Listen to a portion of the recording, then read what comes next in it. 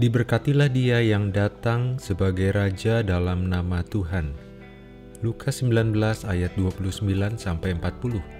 Ketika ia telah dekat Betfage dan Betania yang terletak di gunung yang bernama Bukit Zaitun, Yesus menyuruh dua orang muridnya dengan pesan, "Pergilah ke kampung yang di depanmu itu. Pada waktu kamu masuk di situ, kamu akan mendapati seekor keledai muda tertambat yang belum pernah ditunggangi orang." Lepaskanlah keledai itu dan bawalah kemari. Dan jika ada orang bertanya kepadamu, mengapa kamu melepaskannya? Jawablah begini, Tuhan memerlukannya. Lalu pergilah mereka yang disuruh itu, dan mereka mendapati segala sesuatu seperti yang telah dikatakan Yesus. Ketika mereka melepaskan keledai itu, berkatalah orang yang empunya keledai itu, "Mengapa kamu melepaskan keledai itu?" Kata mereka, "Tuhan memerlukannya." Mereka membawa keledai itu kepada Yesus, lalu mengalasinya dengan pakaian mereka, dan menolong Yesus naik ke atasnya.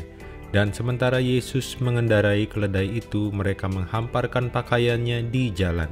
Ketika ia dekat Yerusalem, di tempat jalan menurun dari Bukit Zaitun, mulailah semua murid yang mengiringi dia bergembira dan memuji Allah dengan suara nyaring, oleh karena segala mujizat yang telah mereka lihat.